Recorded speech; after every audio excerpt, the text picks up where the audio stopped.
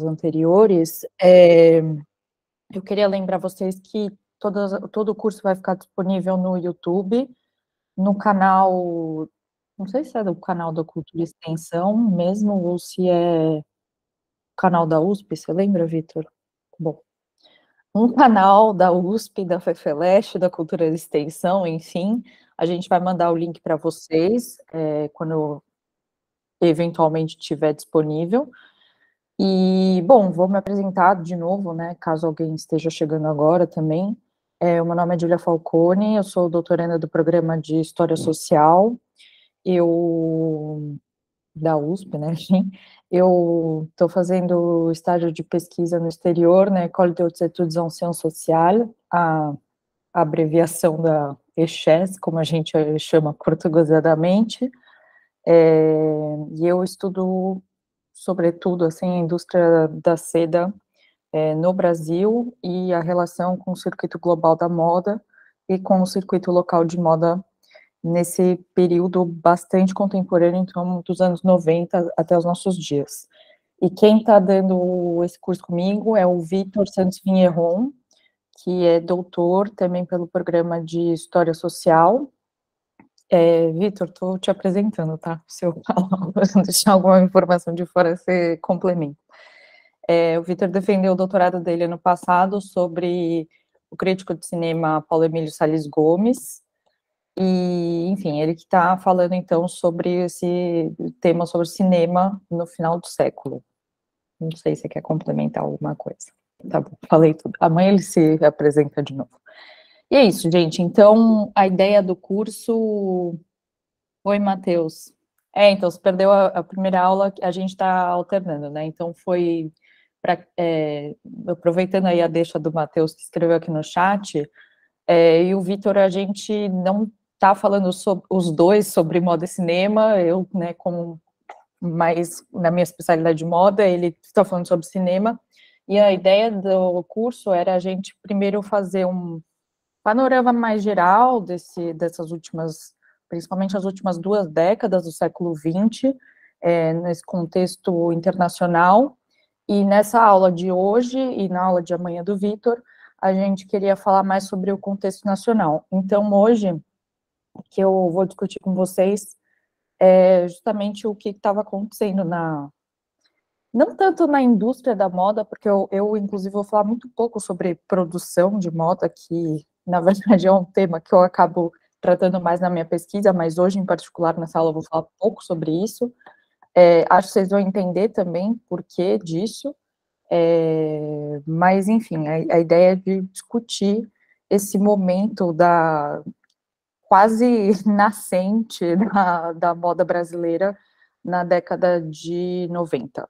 principalmente, bom? Então, é, vou compartilhar meu PowerPoint com vocês. Ah, e sobre presença, esqueci só de dar esse recado. É, o Vitor está, ao longo da aula, ele tem um software, sei lá o que, enfim, que, que, que registra os nomes de quem está na sala. Então, se por acaso a, a conexão de vocês cair em algum momento, é, não se preocupem que ele faz, acho que umas três vezes, né? Então, acho que agora, umas seis e meia, é isso? Seis e meia e depois umas sete, alguma coisa. Então, e assim, se por acaso, sei lá, vocês acharam que a internet está impossível, vocês não conseguiram ficar cinco minutos direto em algum momento, enfim, manda um e-mail que daí a gente registra a presença, é, porque, enfim, tem essa esse protocolo de só dar o certificado para quem participa de 75% do curso, ou seja, como a gente está dando quatro aulas, vocês têm que participar de três aulas é, para vocês poderem ter o certificado. Bom, dito isso, só preciso compartilhar a tela e aí a gente começa.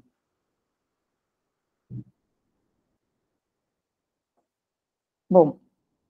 é, isso eu, falei até um pouco na outra aula também, gente. Eu acho que vale de novo para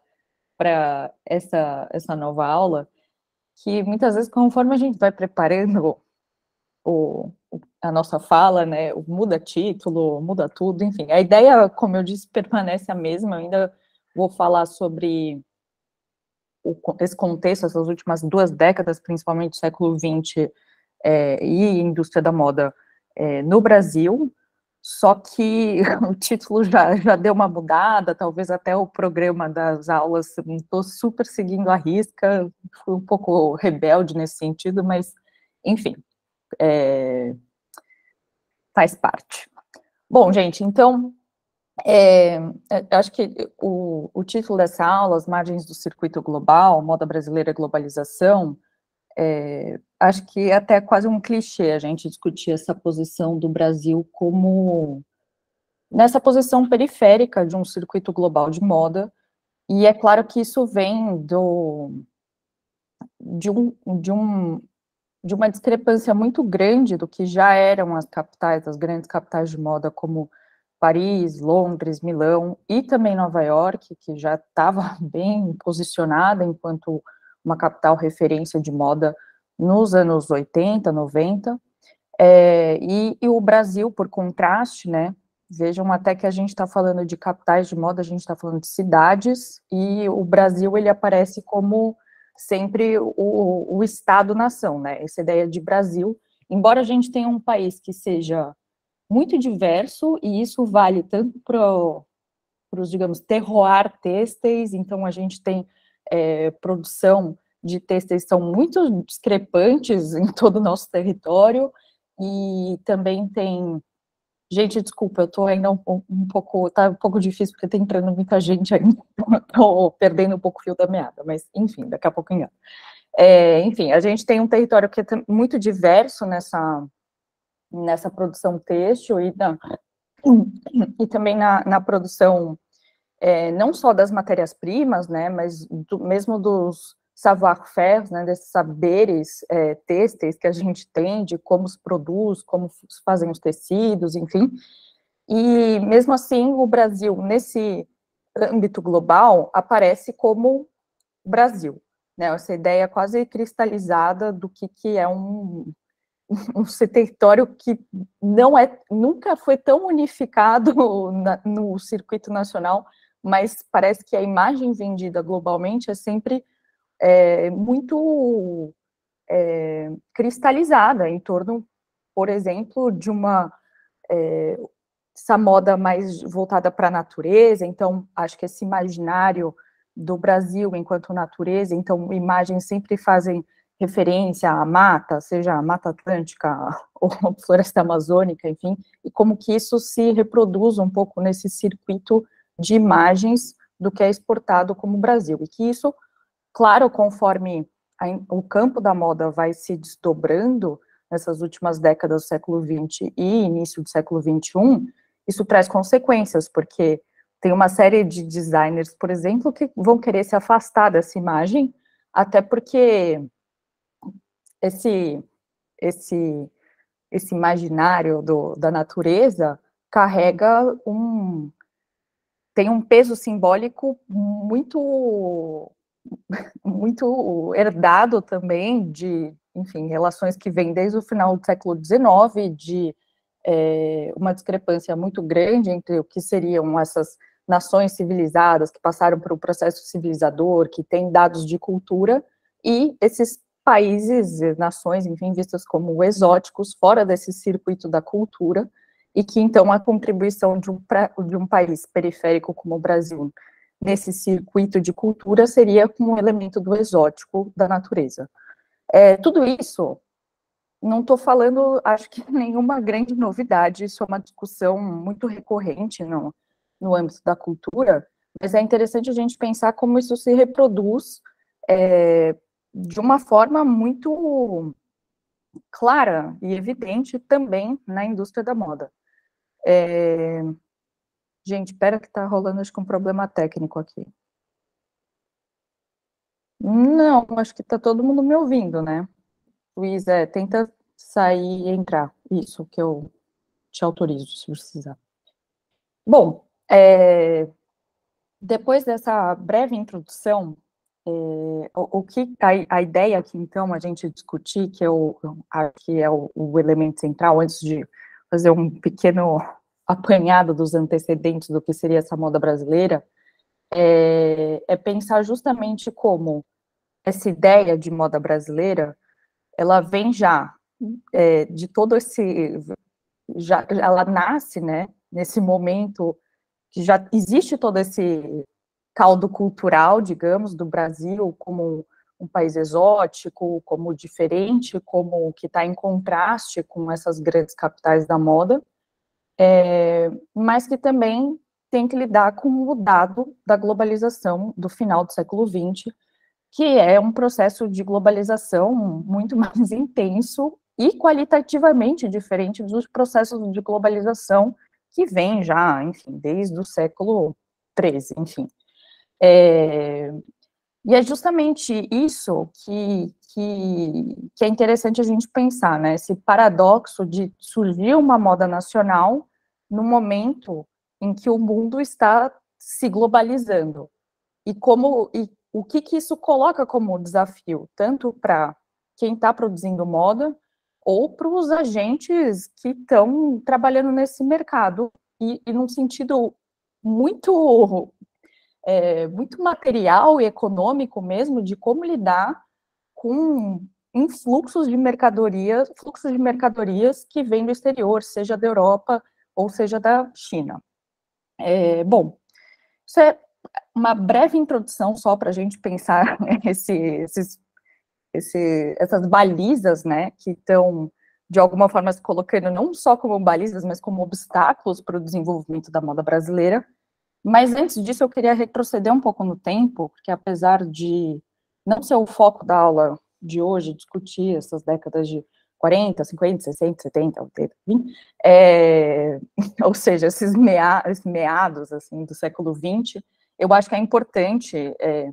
retraçar muito brevemente é, essas, esses outros momentos do que a gente pode ver como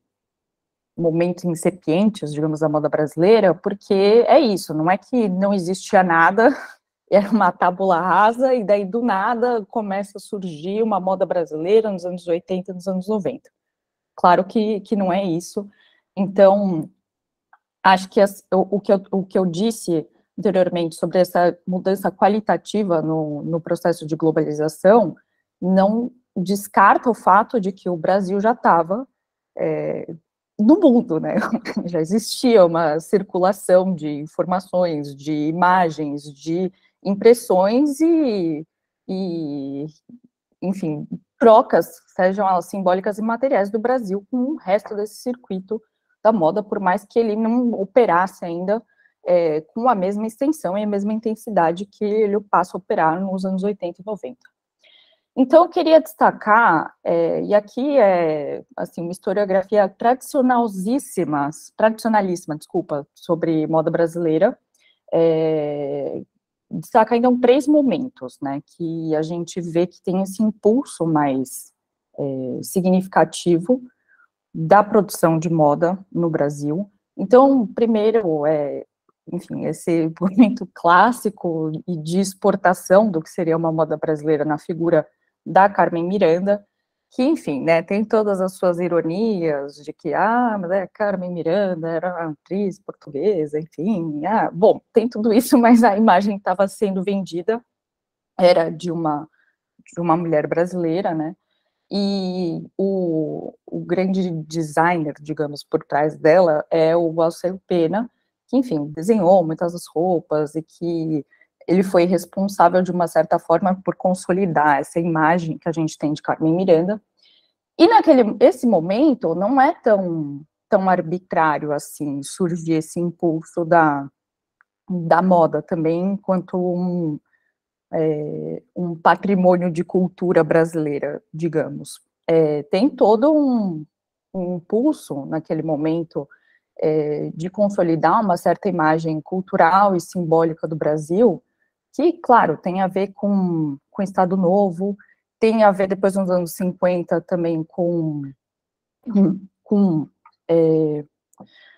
com o nacional desenvolvimentismo, então tem esse momento que, claro, a moda ela não, não é ainda uma, uma indústria é, de tanta relevância econômica no Brasil, no sentido de, é, de ter uma produção têxtil muito intensa, era ainda uma produção mais voltada para realmente assim, processamento de algodão, para produção de, de assim, roupas que eram produzidas já em massa e inclusive tem um, gente, lembrando só que essas referências que eu vou soltando, depois a gente vai fazer uma lista com elas e mandar para vocês, né? Mas tem uma tese de doutorado que é muito legal, que é do eu sempre confundo se é Luiz André ou André Luiz, mas André, eu acho que é Luiz André do Prado, e que ele faz um, um, um, um, panorama histórico da indústria da moda no Brasil, que vem desde o século XIX até os anos 60, e a grande tese dele é que já existia uma indústria têxtil no Brasil no final do século XIX, só que era uma indústria têxtil voltada é, para a produção de vestuário de algodão, principalmente para pessoas escravizadas. Então, era uma produção que era massiva e que era feita em, em série, né, em, em, nível quase industrial nesse sentido, então não era uma produção exatamente artesanal, e o algodão sempre implica essa produção de larga escala também, é, e que já existia, já era um dado econômico, político do final do 19 e que vai se desenvolvendo e, tentando ter um certo tipo de produção autoral ao, longo do, do século XX, e que, enfim, começa a ter esses, esses saltos, né, de produção criativa, e um deles, para voltar aqui para onde a gente estava, é justamente nos anos 40, é, com essa figura da Carmen Miranda, que implica também é, claro que ela cristaliza um pouco essa produção específica, mas dá para a gente pensar em, em, como foi um efeito é, de, de, expansão, né? Não, é, não foi só Carmen Miranda que surgiu naquele momento, existia todo esse impulso e isso fica evidente, por exemplo, com,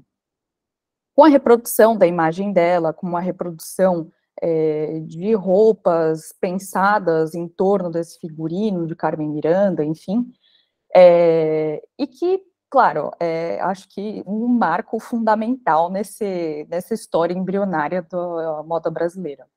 Um outro momento que eu queria destacar também é dessa parceria, digamos, entre o Museu de Arte de São Paulo, MASP, e a Ródia, a Ródia que era uma empresa francesa que atuava no Brasil, e, enfim, tem outra tese de doutorado, que também é sobre a Ródia, que é da Maria Cláudia Bonadil,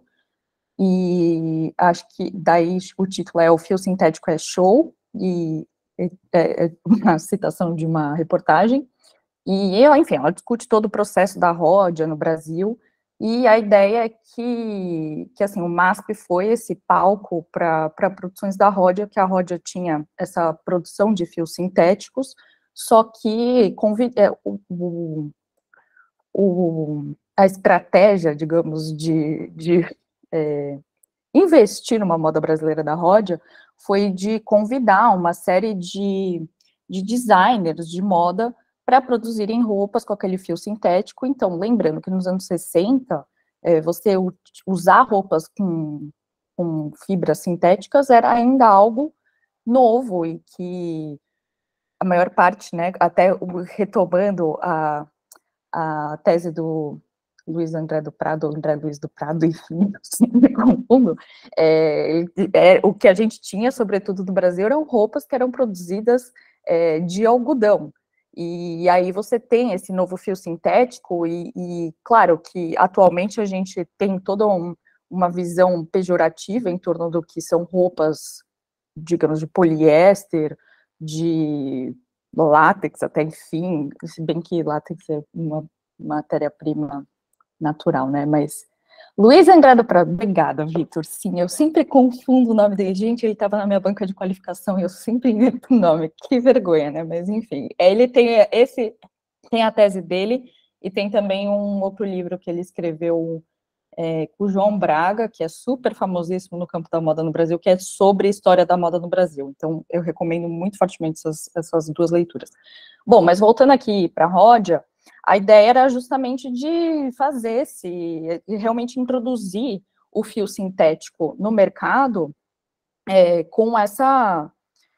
com essa com uma, um valor simbólico diferente daquilo que, que a priori poderia ser rejeitado, né, em função de fibras naturais, é, já existe, já poderia existir um pouco esse preconceito também, e também para que não fosse só vista como uma produção é, massificada, né, e daí ter essa visão autoral na produção do vestuário com fibras sintéticas. E por último, é só, enfim, esse, acho que um dos primeiros nomes de grandes designers, né, brasileiros que, que a gente tem, é que é a Zuzu Angel, do, que é, atuou principalmente nos anos 70, ela, enfim, tem uma série de trabalhos escritos sobre ela, não tenho nada específico para recomendar a vocês, até porque eu acho que ela é uma personagem que ganhou uma dimensão para além até do mundo da moda, também por causa da atuação política dela. É, enfim, tem até filmes sobre ela, porque, como vocês devem saber, o filho dela foi, foi morto porque ele, enfim, é perseguido pela ditadura, e ela, até o final da vida dela, lutou muito para responsabilizar a ditadura militar pelo assassinato do filho, né? E, enfim, ela tem coleções que ela faz protestos com as roupas dela e, e imprime essa visão política também no, na atuação dela enquanto designer de moda. E acho que, assim, ela é realmente incontornável também nesses antecedentes da moda brasileira.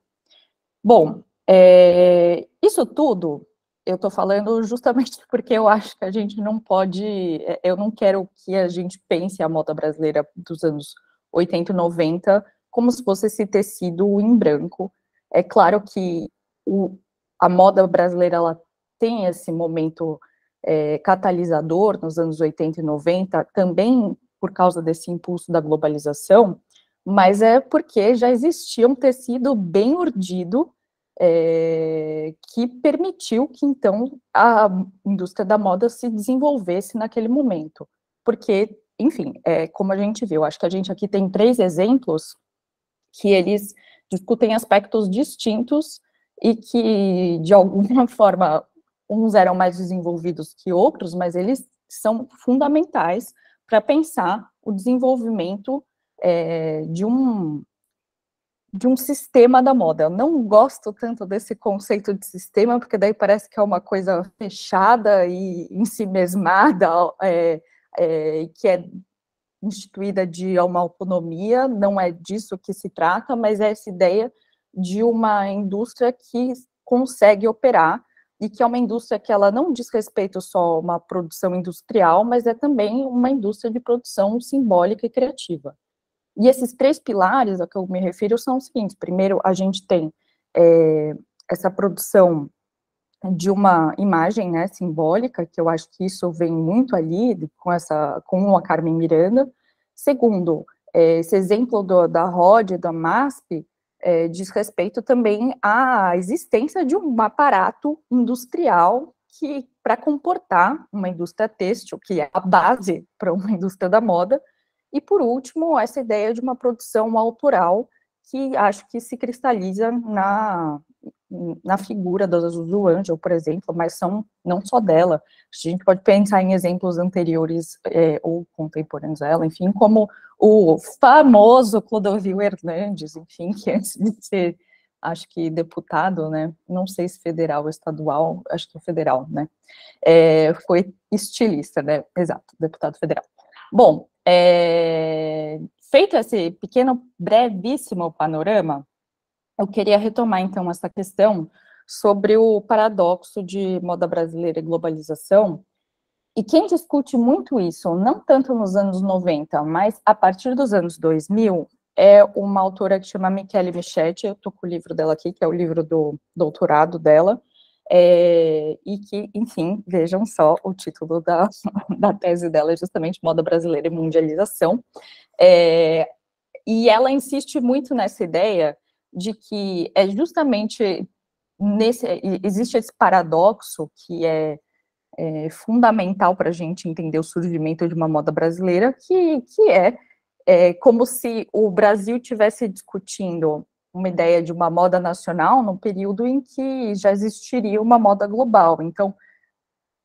qual seria, qual, qual é a validade de, de você ter uma moda nacional quando você já tem uma moda que é mundializada, que já circula em nível global. E é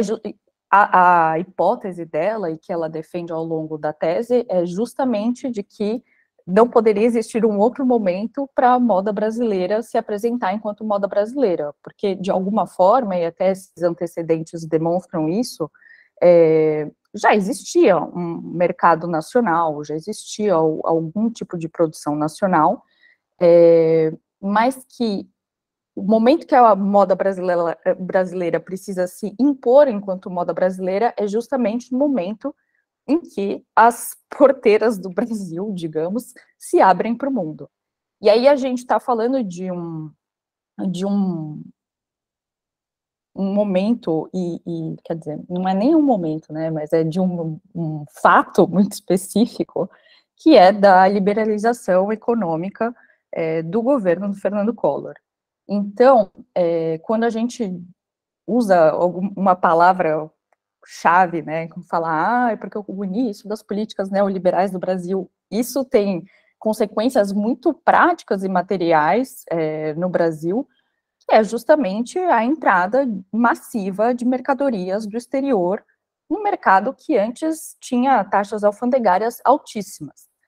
Então, é, pensem que até os anos 80, os anos 90, as taxas alfandegárias elas podiam chegar a mais de 90% de mercadorias que vêm do exterior. E né, o, o, preço de uma, uma bolsa de luxo, por exemplo, que já não é um, um valor muito baixo, com essa sobretaxa de 90%, torna impraticável esse preço até para uma classe consumidora que pode efetivamente ter acesso a, a esse tipo de mercadoria.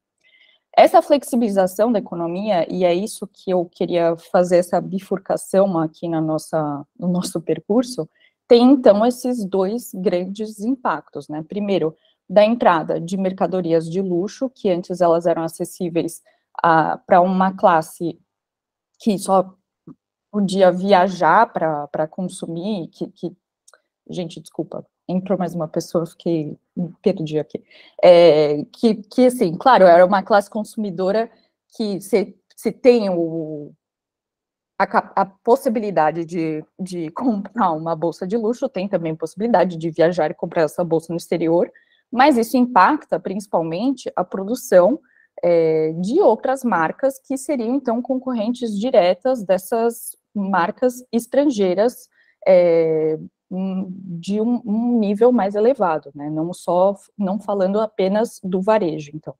Só que o varejo, ele também fica impactado nessa, nessa liberalização econômica, justamente porque esse é o grande momento de um, um influxo grande de mercadorias made in China.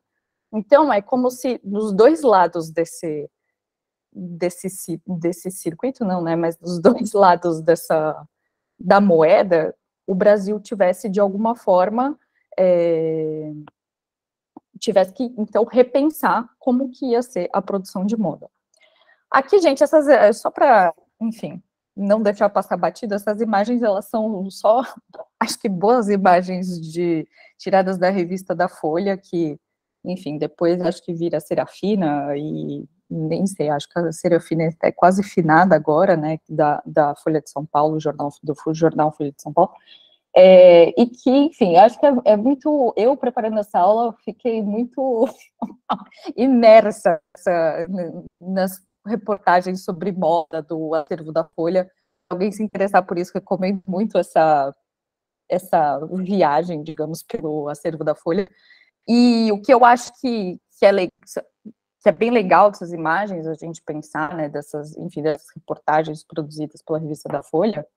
é que, ao mesmo tempo que existe esse ensejo de discutir a moda no Brasil, então, ah, eles faziam editoriais, e tem aqui, por exemplo, ah, modelo que está com um chinelo havaiana, com umas frutas atrás, e toda essa ambientação tropical, Brasil, enfim, é, quando vai se discutir moda, também tem que esse quase essa imposição de discutir o circuito internacional. Então, aqui nessa página mais à esquerda, é, o que tem é toda uma retrospectiva da moda, e apesar do título ser Lá Vem, Lá Vem o Brasil, e, enfim, fazer alguns acenos da moda brasileira, a maior parte do que está discutindo, o que está dentro e está fora, né, o, o que está in, o que está ficando out, porque está acabando o ano de 94, começando de 95, então o que vai estar tá in, é, são referências, sobretudo, ao circuito global da moda, né? Então, o Brasil ainda um, um pouco aí entre a cruz e a espada, é, tentando se instituir enquanto é, um lugar nesse circuito, e como a gente faz isso, e acho que é inevitável, né, cair um pouco no, no clichê, então aqui a gente vê chitas, cetins, rendas, estampas, que esnobam as tendências europeias, só que ao mesmo tempo que esnobam as tendências europeias, como diz aqui esse subtítulo, parece que, de alguma forma, esse é, esnoba, mas compra a imagem de fora do que é o Brasil, né? Então, acho que é curioso a gente pensar é, esse, justamente isso, né? Acho que a Michele Michetti, ela, ela discute muito bem como isso é efetivamente um paradoxo e que você mobiliza essa brasilidade conforme o, o lugar, né, que é, é, é, você mobiliza relativamente ao lugar em que se está. Então, nesse pra, diante deste circuito global, o Brasil precisa se instituir como esse lugar do do chinelo havaiana, das frutas tropicais, enfim. Bom, é... uma outra coisa que eu queria dar dois exemplos também para a gente pensar ainda esse paradoxo entre moda brasileira e globalização, e o primeiro deles é a partir da relação com as revistas de moda que o, o campo da moda é, estabelece no Brasil, porque e Acho que isso o circuito acadêmico no Brasil faz muito bem, que é, é, fazer análise dos periódicos de moda do final do 19, início do 20, assim, é, qualquer banco de tese de universidades, faculdades, vocês vão achar muitos trabalhos que utilizam revista Fonfon, o Malho, é, a Cigarra, como fontes para as pesquisas históricas de moda no Brasil, só que é curioso a gente pensar como essas revistas que elas eram brasileiras, né? Então, umas, algumas delas tinham investimentos estrangeiros, enfim, mas essas revistas que seriam made in Brasil, elas ao longo dos anos 70 e 80 passam a ser substituídas por esses veículos mediáticos que vinham de fora e que foram importados pelo circuito editorial brasileiro. E aqui eu acho que tem um exemplo de imagem, né, que é muito, muito interessante para a gente ver essa relação é, posta a, em prática, que é a reprodução não só da, do modelo da revista Elle, né, que é uma das grandes revistas de, moda feminina que existem até hoje, mas que até a foto da modelo, que seria essa parte mais é, instituída de, de autoridade, e, e no, nos dois sentidos, né, de poder ser algo autoral e também de você é, colocar na mão do, da editora local o que, que vai ser produzido numa capa, é, ela também está sendo é, é uma mesma imagem reproduzida, né, e com alguns meses de, de decalagem, digamos, né, alguns meses de atraso, então você tem essa, a capa de uma LUK, né, do, do Reino Unido, da Kate Moss, modelo, enfim, super famosa dos anos 90, é, e que é britânica, justamente, e que depois essa mesma foto ela é tratada e, e enfim, passa por um close e vira a capa da L Brasil. Acho que é muito legal a gente pensar isso, né? Como que o Brasil, ele então está um pouco atado a, a esses referenciais de moda que vem do exterior, e, e, que, de alguma forma, é, isso se relaciona muito com aquilo que eu comentei na aula passada sobre o processo de consagração de alguns designers estrangeiros, que nem é o caso dos belgas e dos japoneses, que precisam passar pelos lugares de, de legitimidade do circuito da moda, então Paris, Londres, Milão, Nova York, para eles conseguirem se inserir nesse circuito. Então, eu vejo como que o próprio, o próprio campo do Brasil precisa recorrer a esses elementos para se legitimar enquanto campo, né? E é legal isso, a gente fazer até uma comparação de quantas vezes isso se reproduz, como se reproduz, como isso é, é, mobilizado, quando é mobilizado, se às vezes eles precisam recorrer a só uma imagem de arquivo, porque enfim, não aconteceu de ter uma capa, ou será que isso é uma implicação da própria L enquanto, enfim, enquanto marca, de querer reproduzir nos outros países onde ela é publicada uma mesma imagem? Enfim, acho que é um bom, um bom vestígio dessa, dessas relações também paradoxais do Brasil, e como as próprias, as próprias legendas, né, o que vem chamando na, essas manchetes da capa, elas são bastante diferentes também, não só entre elas, mas entre o que a gente agora está acostumado a, a ler é, no século XXI, especialmente depois de, enfim, uma outra super onda feminista dos anos 2010. Então, acho que é, dificilmente uma revista de moda colocaria por exemplo, um emagreça já com tanta ênfase assim na capa de uma revista, mas aí acho que é, é mais uma questão de uma transformação cultural, social, do que propriamente só esse, essa questão centro-periferia que eu estou tentando discutir. Bom, é, outro exemplo que eu queria pensar também dessa certa reprodução de de elementos legitimados no circuito global da moda aqui no Brasil, é, justamente das semanas de moda. A história da, da, São Paulo Fashion Week, especificamente no Brasil, eu acho que ela é bastante complicada, porque a São Paulo Fashion Week, ela não surge como São Paulo Fashion Week, só que ela tem o mesmo patrono desde os anos 90, que é o Paulo Borges, é, que é o, o, grande investidor, o grande produtor cultural do, da São Paulo Fashion Week, e que é o primeiro, é, a primeira versão, digamos, da São Paulo Fashion Week foi essa Fitoervas Fashion, e sim, Fitoervas da marca de produtos para cabelo. É, o Paulo Borges, ele era amigo da, da então empresária, dona do Fitoervas, e eles decidem, então, fazer um desfile de moda justamente para contemplar muitos dos designers que já atuavam no, no Brasil nos anos 90, então, é, Tuf Dweck, que, que é o, o, grande designer do, da Fórum, da Triton, dá para a gente pensar também em Elos, grande marca dos anos 90, e que inclusive a Kate Moss, que estava no slide anterior, desfilou para Elos, acho que em 99, é, tem a Zump também, com os jeans dos anos 90, que era um super é, produto, é, uma mercadoria super desejada, né, como é que é, um objeto desejo do, dos jovens, enfim. Falando assim, né, parece que eu sou super velha, né, mas era, era realmente uma, um item que não chegava a ser de luxo, mas era uma mercadoria realmente muito desejada, enfim, e os outros clássicos, tipo Reinaldo Lourenço, Glória Coelho e o próprio Alexandre Arkovitch, que está aí, o desfile está contemplado nessa imagem do Fito Ervas Fashion.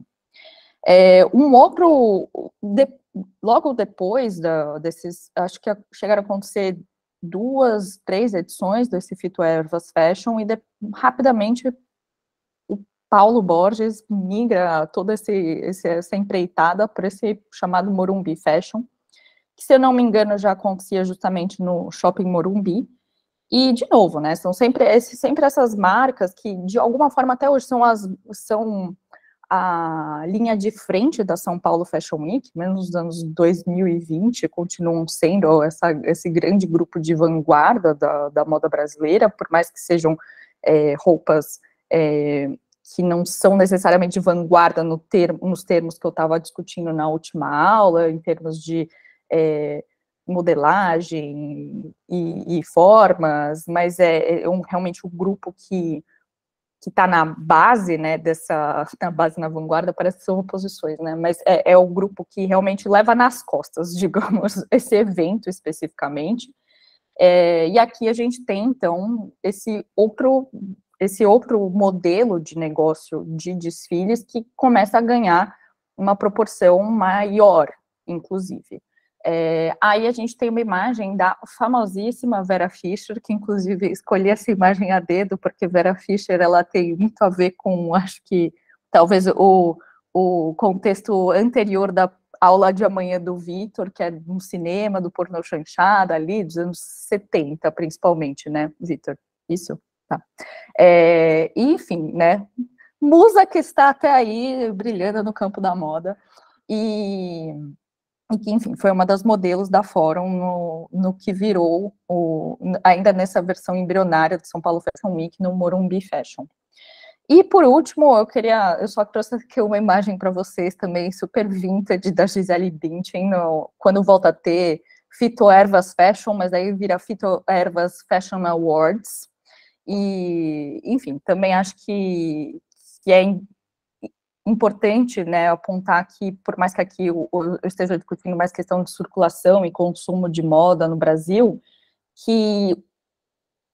acho que a moda brasileira, de alguma forma, ela nunca foi tão global como na figura das modelos brasileiras, né? Então, se existe efetivamente uma inserção da moda brasileira até hoje a nível global, é em torno da figura da mulher brasileira, né? E Gisele Bündchen é uma delas e, a maior de todas, né? Mas existe uma série, um, um contingente de, de, modelos brasileiras que atuam em marcas estrangeiras, seja de luxo, seja de alta costura, prêt-à-porter, enfim. É, bom, e assim, retomando um pouco a, a discussão aqui sobre moda brasileira e globalização, o que é legal, é, gente, pensar é que, claro, é, não é que o Paulo Borges, ele fundou a São Paulo Fashion Week, ou a partir de Fito Ervas Fashion, Morumbi Fashion, Fito Ervas Fashion Awards, é, como uma tentativa de, de consagrar a moda brasileira, eu acho que, de novo, isso é uma, uma visão que não pode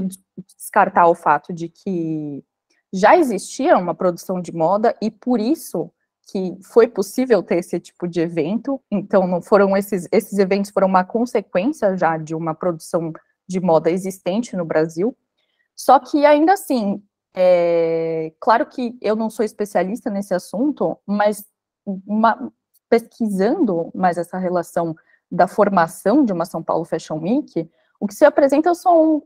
é, informações muito dispersas, e eu acho que é realmente é, indicativo de como que esse momento incipiente do campo da moda do Brasil estava, de certa forma, difícil de ser costurado. Por mais que existissem já marcas que elas eram consagradas nessa produção de, vai, vamos chamar de prêt-à-porter, então de roupas já prontas e feitas, produzidas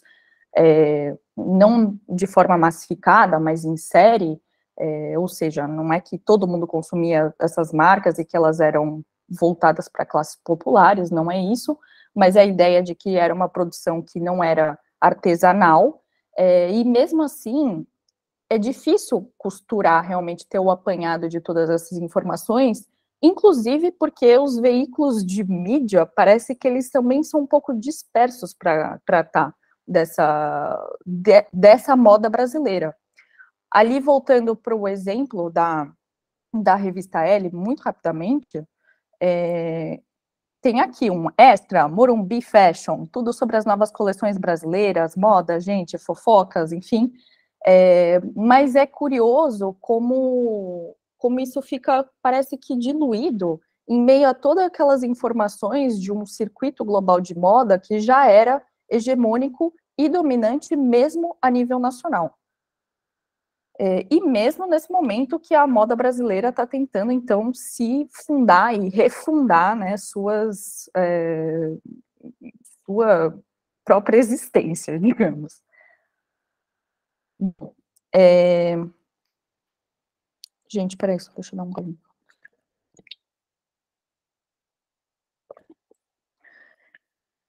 E eu queria pegar esse, esse fio sobre que eu comentei muito rapidamente, né, que essas marcas, elas então eram produções é, de prêt-à-porter, ou seja, eram produções de roupas prontas que eram vendidas em centros comerciais ou lojas próprias das marcas, enfim, para discutir, então, é,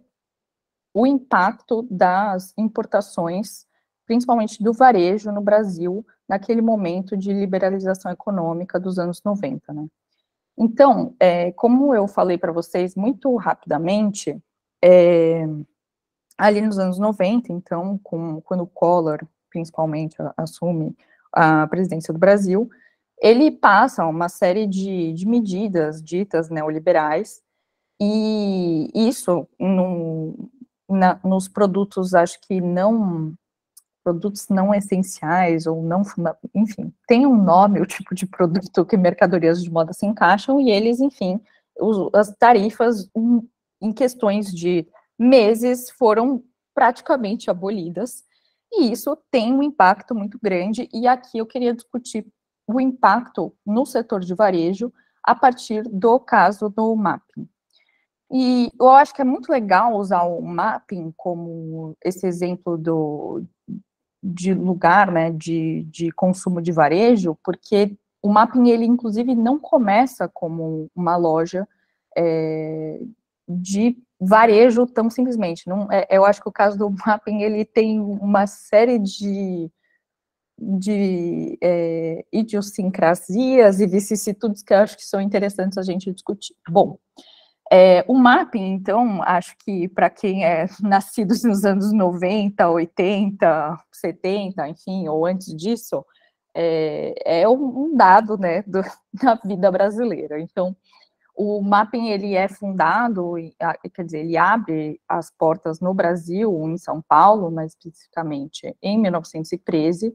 É, o mapping, na verdade, é uma certa reprodução de um modelo de loja de departamento da Europa, então, aos moldes das Grand Magasin da, da França, ou mesmo as super lojas de departamento da Inglaterra, inclusive é isso, né, o mapping, ele inicialmente era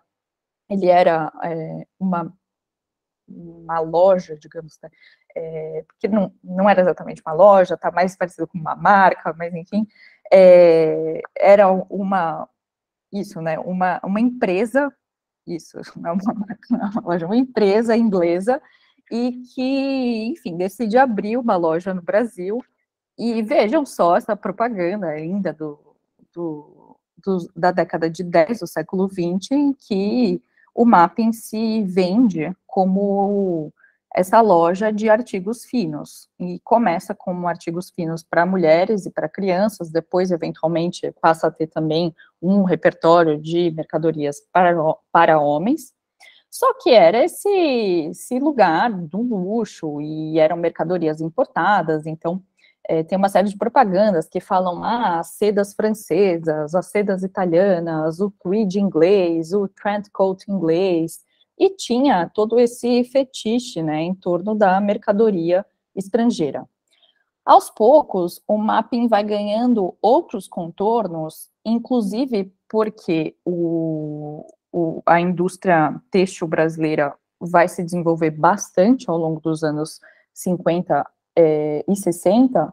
e o mapping passa a ser, a partir principalmente dos anos 50, um lugar em que são vendidas as ditas roupas feitas, né? Eu acho bonitinho roupa feita porque parece uma versão abrasileirada do prêt-à-porter ou do ready to wear,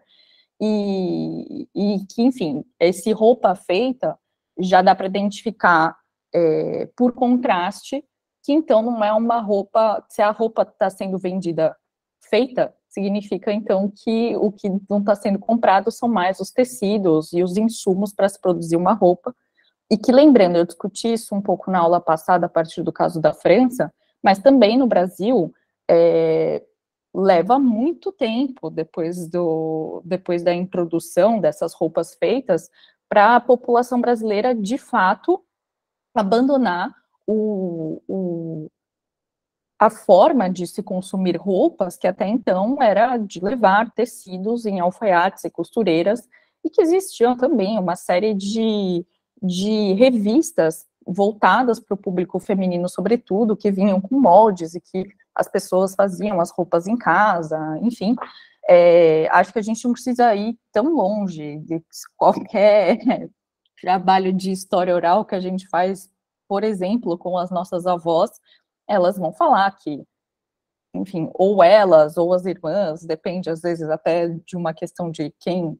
quem tinha mais habilidade de fazer, mas alguém fazia roupa e tinha toda essa produção de roupa no âmbito doméstico, ou que tinha a costureira do bairro que não era responsável por fazer ajustes na, nas roupas feitas, mas que efetivamente produzia o vestuário.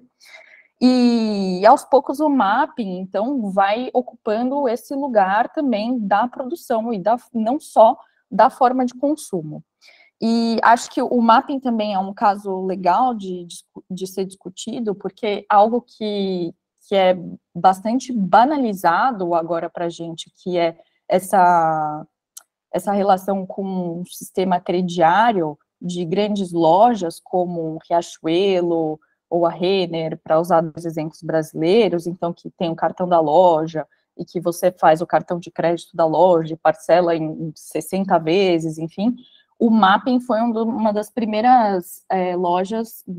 nessa proporção, né, numa proporção de, numa dimensão de grande porte, a ter um sistema crediário. E outra coisa legal também de, de pensar, né, como é, muda, como o Mapping interfere nessa forma de consumo,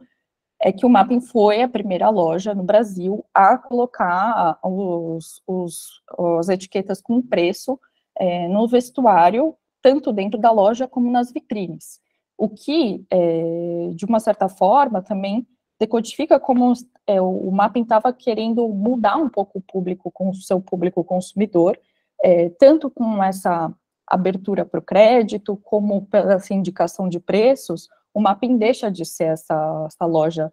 tão elitizada como era nos anos 10, nos anos 20, e voltada é, sobretudo para uma classe dominante que podia consumir bens é, de luxo, né, ou artigos finos, como diz a propaganda, para ser um, realmente uma loja investida no varejo, voltada para as classes médias, é, e, e, que acho que o exemplo maior disso é que o mapping deixa de ser apenas uma loja central é, no centro do, de São Paulo e passa a abrir outras unidades e que, inclusive, nos anos, acho que dos anos 80, se eu não me engano, no final dos anos 80, o Mapping, ele compra a, as, as lojas da Sears, né, essa Sears, que também era grande loja de departamento estadunidense, que atuava no Brasil até então, o Mapping compra e ocupa esses lugares da Sears, inclusive dentro de shoppings, e acho que no próprio shopping Morumbi, que vai ser, a gente vai discutir um pouquinho mais à frente, é, o MAP, então, passa a ter também uh, uma loja dentro do shopping, né? Então, é quase um, um, um... Ai, meu Deus, qual que é a palavra que eu estou procurando? Metaverso do consumo, enfim, não era essa palavra, mas eu acho que eu vou ficar com essa ideia. É, bom, e o mapping, o que, o que eu estou tentando indicar aqui, destacar para vocês, é justamente como ele passa, então, dessa loja de ser uma loja de luxo para ser uma loja mais voltada para o varejo. É, e o que é curioso é que o mapping é, consegue sobreviver bem com essa mudança. Não é exatamente a mudança que provoca a falência do mapping, mas é ali, nos anos 90, que o mapping realmente vai os negócios do mapping vão, enfim, degringolar. É, acho que, enfim, as minúcias do, do que aconteceu com o mapping podem ser achadas, uma, se vocês fizerem uma pesquisa com mais afinco, mas o que é, eu acho que é, é legal a gente pensar é como muitas vezes existe numa narrativa midiática, por exemplo, é, essa indicação de que ah, foram problemas de negócio e, e, o mapping ele enfim publica os números dos negócios em 1995 e eles estavam com uma dívida de milhões e daí troca quem é o bom, não era CEO naquela época, né, mas quem era o presidente do Mapping, e depois assume o investidor X, e depois o investidor, o Ricardo Mansur, assume, enfim, depois o grupo Pão de Açúcar vai comprar o Mapping, mas não vai. Mas eu acho que a gente podia se afastar um pouco dessa visão quase administrativa do problema para pensar como o Mapping é, sofre um impacto realmente dessa entrada massiva de mercadorias de varejo que são é, barateadas em relação aos produtos brasileiros. Então, o mapping, se ele tinha essa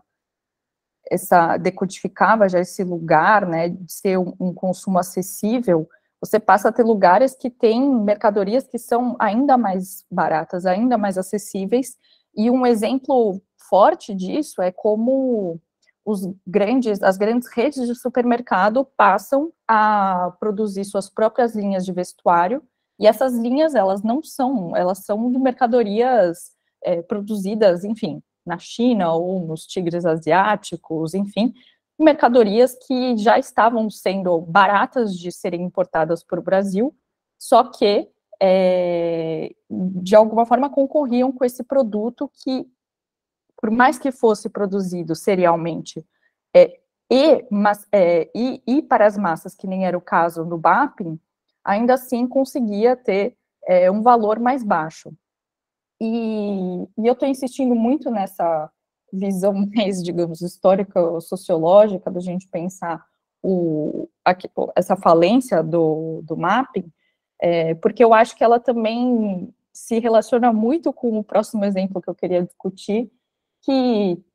é o da Daslu, mas que daí tem a ver com o que acontece no campo do luxo. Hum, é, a Daslu, enfim, também é uma história de ascensão e queda que eu acho que é ainda mais é, catastrófica, talvez, porque a Daslu, ela de alguma forma acompanha todo o desenvolvimento da indústria da moda no Brasil, e eu acho que ela é bem paradigmática para a gente discutir algumas questões. É, então, a Daslu começa quase como uma sociedade de elite. É, peraí que tem uma pergunta aqui sobre o mapa, então antes de passar, só deixa eu ver se eu falo agora, se eu espero para o final.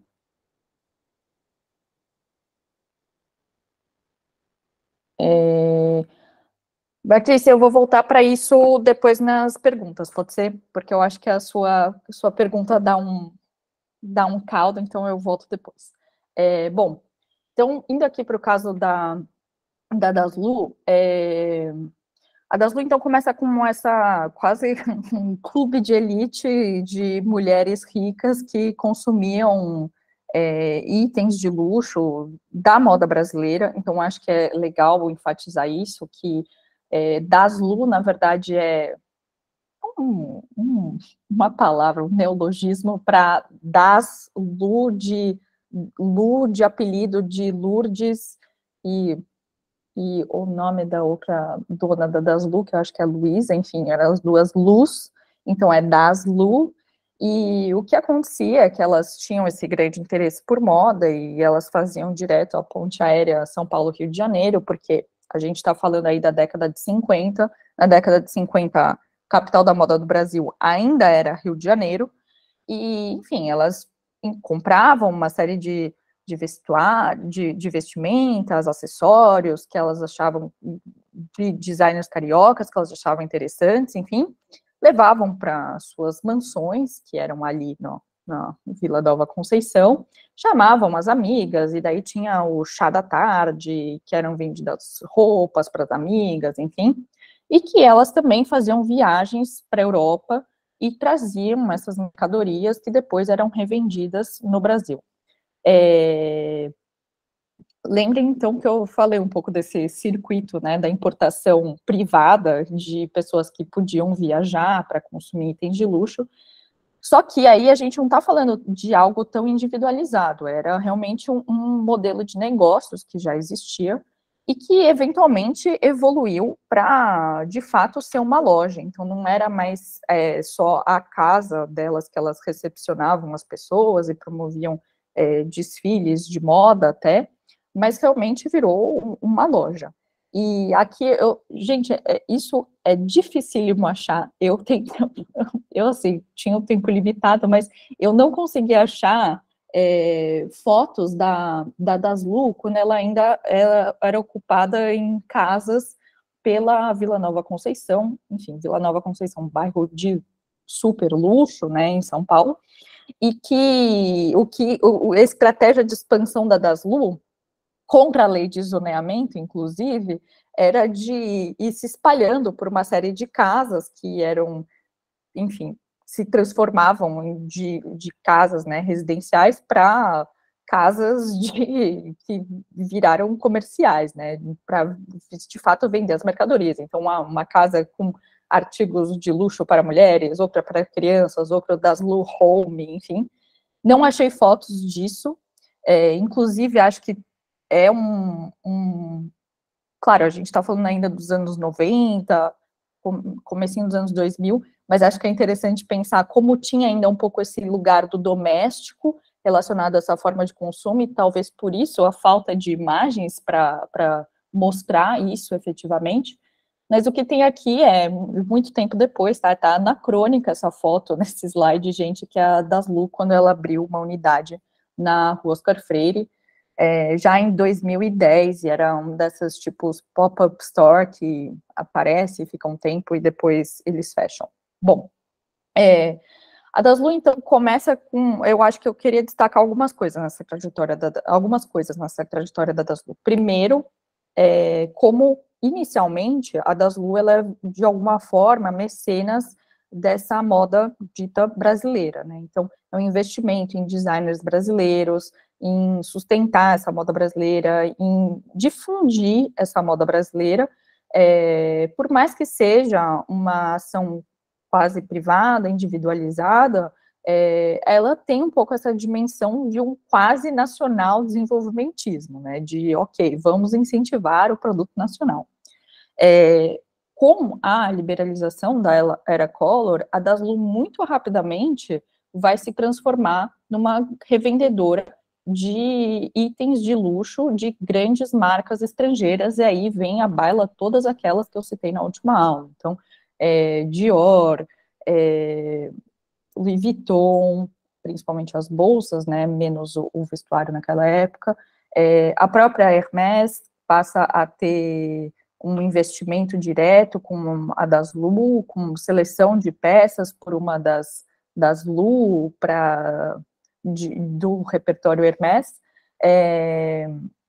enfim, é, Burberry, Prada, Fendi, todas essas marcas de luxo, elas passam a ser importadas via Daslu. Daslu já num, num negócio, né, é, no, âmbito empresarial, por mais que ainda fosse nesse lugar entre, entre a casa e o comércio, que era justamente isso, né, essa, essa, essa versão espraiada da, das Lu pela Vila Nova Conceição. É, aqui eu queria ultrapassar um pouco o, o recorte temporal que a gente está é, tratando aqui nesse curso, né, do fim do século XX, para falar do início do século XXI, mas, de novo, é porque eu acho que é muito emblemático esse caso da Daslu, dessas transformações na forma de consumo de moda no Brasil. É, bom, como eu enfatizei algumas vezes, a Daslu tinha esse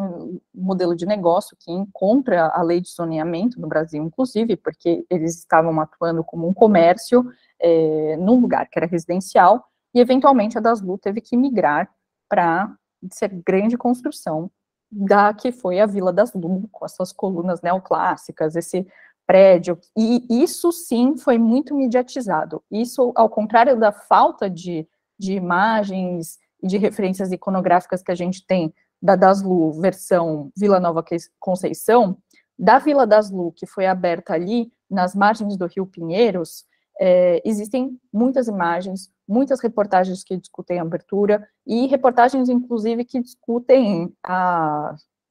questões é, sociais muito sociais econômicas da Daslu muito sérias, como, por exemplo, ali era uma região que tinha uma favela e que houve todo um processo de especulação imobiliária é, justamente para comportar a chegada dessa, desse dito, né, templo do luxo. Aqui eu tenho duas imagens para vocês é, da Vila das Lu, que foi inaugurada então em 2005. Essa é da fachada e essa é do, do interior, né, da loja. E, e é muito, é, é, curioso um pouco essa, esse dado de brasilidade que traz a, a das Lu, porque uma das coisas que a, que a, daí a Eliane Tranquese, né, herdeira da, de uma das Lu, da, das Lu, é, que quis manter na Vila das Lu, que era de conservar um pouco esse caráter doméstico. Então, é, tem toda essa mitologia em torno da das Lu, de que um dos andares, o andar que eram, era, eram vendidas roupas femininas, as mulheres podiam se trocar no meio dos corredores, porque os homens não podiam acessar o andar, e que tenha toda a história das, das Luzetes, que são as vendedoras, que na verdade eram filhas da elite paulistana, envolvidas com esse campo da moda, e que eram, é, trabalhavam como vendedoras na loja, porque elas tinham, sabe, a olhar é, para identificar quais eram as roupas, quem eram as consumidoras, e era justamente essa ideia de que a vendedora pertence à mesma classe social que a consumidora, e que estava todo mundo em casa ali, e que, claro, que tem um pouco esse, essa quebra da fantasia é, da elite paulistana, porque, ou quebra não, né, ou continuidade dessa fantasia paulistana na figura das, das mulheres pobres que frequentavam lugar enquanto é, governantas e que eram uniformizadas com, sabe, aquela roupa mais clássica de camareiras, com um avental, enfim, assim como era nas versões antigas da Daslu. Bom, tudo isso vocês vão achar uma série de depoimentos na internet. Acho que falta também algo mais alinhavado para contar essa, essa história da Daslu. É, mas o que eu acho legal enfatizar aqui é, é um pouco esse processo, né, de transformação da Daslu. Então, a Daslu começa com esse, com esse lugar quase doméstico, de incentivar uma moda doméstica, então aí nesse, o doméstico nesses dois sentidos, e que conforme vai se desenvolvendo, a Daslu vira um pouco esse lugar de referência de um luxo estrangeiro, internacional, e que inclusive é, entra no radar desse circuito global de moda, porque a própria mídia estrangeira fica muito deslumbrada com é, essa pérola, digamos, na, na beira da, da marginal Tietê, que virou a, das, a Vila das Lu. E acho que mais um elemento que é interessante dessa, dessa história toda, de pensar como que o Brasil ele se insere nesse circuito global da moda como um consumidor de moda e de bens manufaturados, e não tanto como um produtor de moda nacional, efetivamente, é, é, com essa transformação depois, com a falência da Daslu, em shopping JK Iguatemi. Não é exatamente a mesma construção, é, tanto que o shopping JK é, um, é uma construção que fica mais para dentro ali do, da, da, cidade, não tanto na beira do rio, onde era a Vila das Lu, dá para vocês verem um pouco aqui nessas duas imagens, é o que é o Teatro Santander atualmente, é, mas existe, então, essa é, continuidade de um bolsão de luxo formado em São Paulo e que faz parte um pouco desse circuito transnacional de marcas de luxo consagradas no circuito global. É, e eu acho que um último elemento quase irônico é que até a própria Vila das Lu, antes de ser é, Vila das Lu, e,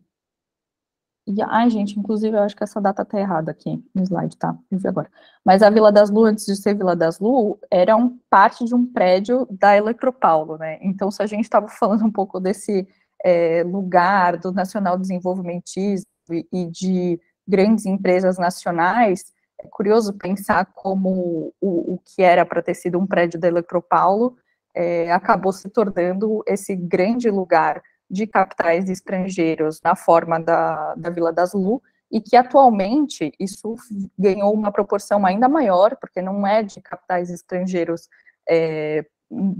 em relação à indústria do luxo, na forma do JK Guatemi, mas a gente tem um banco que também é estrangeiro, que é o Santander, que é o grande investidor por trás dessa de todo esse investimento imobiliário, e o W Torre, que abriga uma série de outros bancos estrangeiros e, e empresas de grande porte também, de capital transnacional, multinacionais, enfim. É, bom,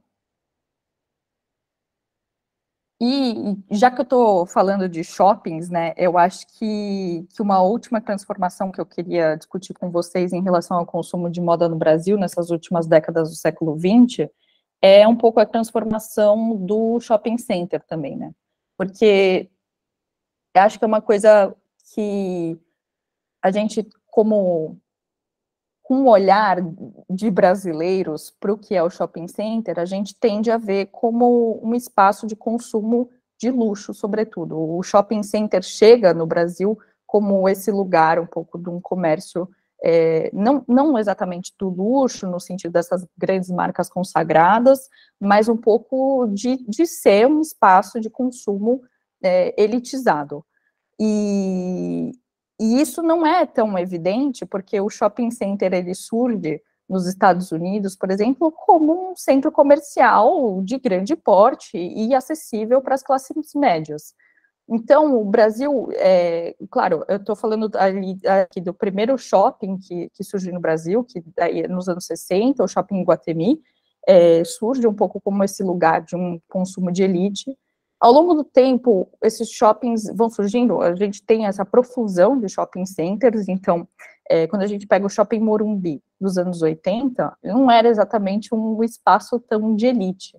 e o, o, caso do Morumbi é um pouco o oposto do que acontece com o mapping, é, por exemplo, porque se o mapping tem essa, é, digamos, essa mobilidade descendente em termos sociais e econômicos, ou seja, começa como um espaço de consumo de luxo e passa a ser um espaço de consumo popular, o Shopping Morumbi, que é um lugar de consumo mais de classes médias, passa a ser um lugar de consumo é, voltado para as elites. E acho que é muito interessante a gente pensar como o Brasil é, é um dos poucos grandes mercados de luxo, ainda hoje, mesmo depois de, de, da saída de muitas marcas do mercado brasileiro, é um dos poucos lugares que as grandes marcas de luxo são vendidas é, em shopping centers, né? E, claro, se a gente está falando de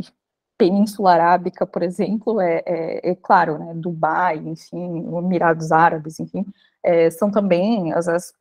as, grandes lojas de marcas de luxo também ficam em shoppings, ok, mas acho que o caminho para isso é bastante diferente e que aí a gente está lidando com um dado é, muito,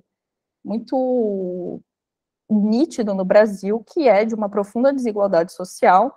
porque a gente tem nos anos 2000 marcas de luxo como Dior, Louis Vuitton, Montblanc, é, que têm lojas de rua, é, então, que, que, acho que é o lugar mais tradicional para o comércio de, de mercadorias de luxo, sobretudo na Europa, e isso é reproduzido no Brasil em primeiro momento, e depois essas marcas, de alguma forma, elas se refugiam nos shoppings, né? E, de novo, é, nesse grande bolsão de luxo formado é, à beira do, da Marginal Pinheiros, que a gente tem de um lado o JK Iguatemi, que foi inaugurado em 2016, mas também tem o Shopping Cidade Jardim de 2009, que inclusive recepciona a chegada de algumas marcas de luxo que até então eram inéditas no Brasil, como é o caso da Hermès. Então, acho que é legal a gente pensar como o shopping center no Brasil, ele tem um, esse lugar um pouco multi é, significado, porque ele é tanto um lugar de um, de um consumo de classe média, massificado, e dessa ideia mais, é, mais é,